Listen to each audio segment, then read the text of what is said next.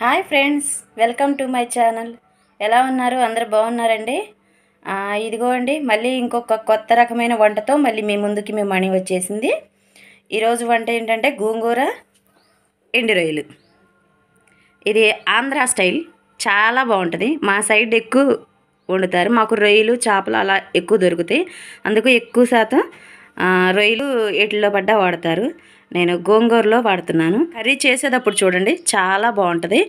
చేయటం కూడా మీకు చూపిస్తాను ఎలా చేయాలనేది.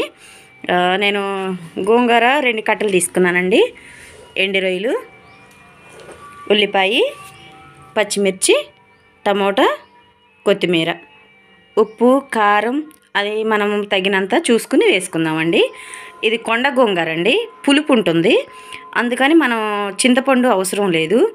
ఒకేలా మనం మామూలు గోంగూర అయితే కనుక చింతపండు తీసుకోవాలి. అందుకని నేను దీనికి చింతపండు వాడతలేదు మరి ఇంకెందుకు ఆలస్యం?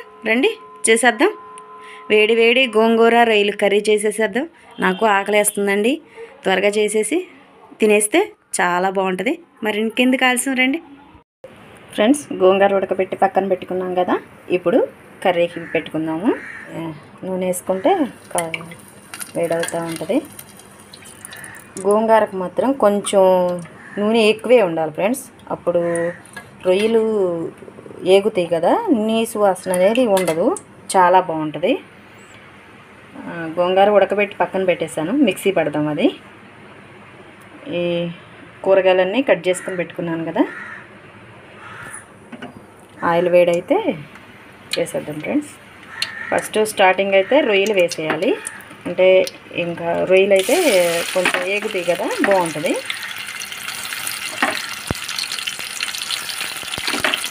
ఈ కర్రీ అనేటప్పటికీ ఎక్కువ కృష్ణా జిల్లా బీసన్ సైడు నాగాలంక అవనగడ్డ అటు సైడు కోడూరు ఎక్కువగా రొయ్యలు దొరుకుతాయండి. సముద్రం ఉంటుంది కదా అక్కడ బాగా ఉంటారండి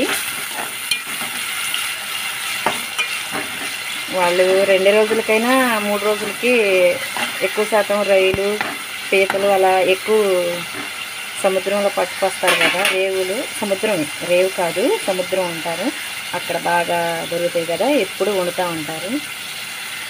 అనేటప్పటికి తక్కువ దొరకటం. అందుకే ఈ కర్రీ నా- నేను చాలా బాగా నేర్చుకున్నాను.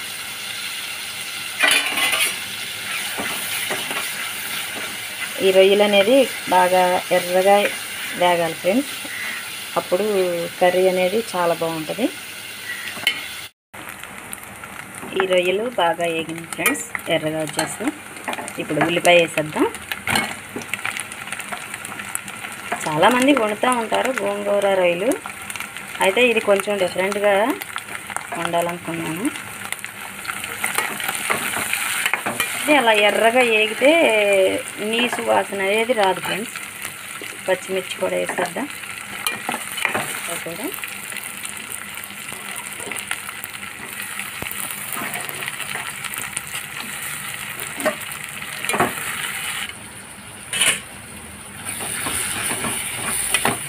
చక్క సిమ్లో పెడితే స్లోగా చక్కగా అన్నీ మగ్గిపోతాయి. ఉప్పు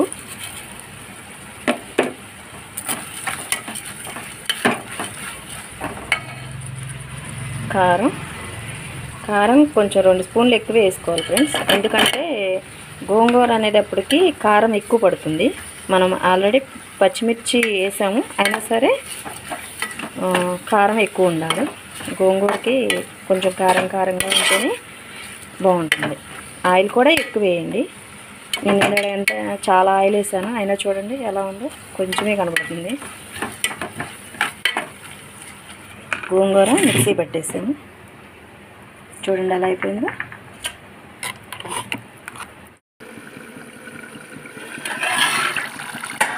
కూర దగ్గర పడింది. ఇక గోంగూర వేసుకున్నాను ఇందులో. మెత్తగా మిక్సీ పట్టేసాను కదా గోంగూర. ఈ గోంగూర వేయంగానే ఇంకా మనకు అయిపోయింది కర్రీ అనుకోకూడదండి.